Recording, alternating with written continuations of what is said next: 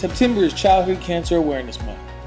Every 36 minutes, 44 children a day, 15,000 kids a year are diagnosed with cancer in the U.S. That's why we fight. We have just one wish to end childhood cancer. Since 1998, Hyundai Hope on Wheels has donated over $100 million for pediatric cancer research. Give us a hand to help find a cure. Visit HyundaiHopeOnWheels.org.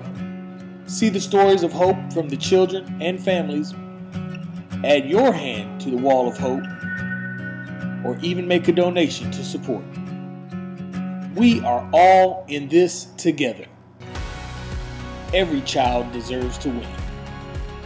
Join us in our fight to end childhood cancer.